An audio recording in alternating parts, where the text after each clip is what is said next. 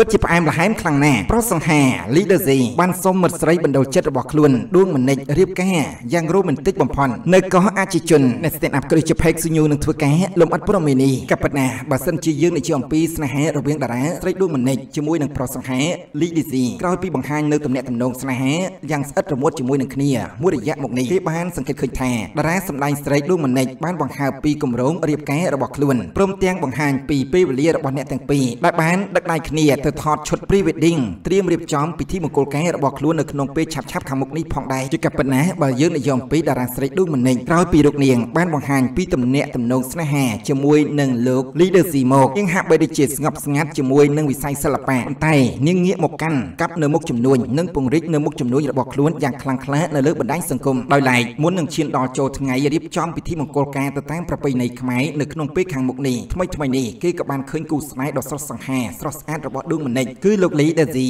បានធ្វើការរៀបចំពិធីសប្រៃយ៉ាងធំមួយចំពោះដួងមនិចដើម្បីសូមរៀបការដែលការរៀបចំនេះគឺរៀបចំឡើងនៅលើកោះអភិជនមួយយ៉ាងរ៉ូមែនទិកបំផុតមើលទៅពិតជាផ្អែមល្ហែមនិងស្វីតស្វីតជាមួយគ្នាយ៉ាងខ្លាំងវីដេអូនៃការសប្រៃសូមរៀបការនេះផងដែរកំពុងតែធ្វើឲ្យមហាជនអ្នកគ្រប់គ្រងនៅលើបណ្ដាញសង្គមមានសេចក្តីរំភើបរីករាយជំនួសនិងអបអរសាទរចំពោះគូស្នេហ៍អ្នកទាំងពីរដែលជិតមានថ្ងៃពិសេសនៅក្នុងពេលឆាប់ៗខាងមុខនេះហើយក៏ប៉ុន្តែយើងឃើញថាគូស្នេហ៍មួយគូនេះពិតជាបានធ្វើឲ្យមហាជនក៏ដូចជាអ្នកគ្រប់គ្រងមានសេចក្តីរំភើបជំនួសនិងលួចចិត្តណែនចំពោះគូស្នេហ៍មួយគូនេះផងដែរពីព្រោះថាជារឿយៗអ្នកទាំងពីរតែងតែបង្ហាញនូវភាពអែមល្ហែមបែបរ៉ូមែនទិកនៅលើបណ្ដាញសង្គមជាញឹកញាប់រួមជាមួយនឹងអ្នកគ្រប់គ្រងមួយចំនួនបានចូលទៅខមមិនបង្ហាញពីចំណាប់អារម្មណ៍រៀងៗខ្លួនឲ្យពីបានឃើញអ្នកទាំងពីរតែងតែបង្ហាញនូវភាពផ្អែមល្ហែមនិងបង្កើតនៅកម្មវិធី surprise surprise និងកម្មវិធីសប្បាយៗនៅលើបណ្ដាញសង្គមឲ្យមិនមានការបំពើសង្គមនោះទេហូតទៅដល់អ្នកខ្លះបានសរសើរចំពោះអ្នកទាំងពីរផងដែរដែលជាអ្នកលក់អនឡាញតែមិនធ្វើឲ្យប៉ះពាល់ឬក៏ទៅបំពុលសង្គមនោះឡើយ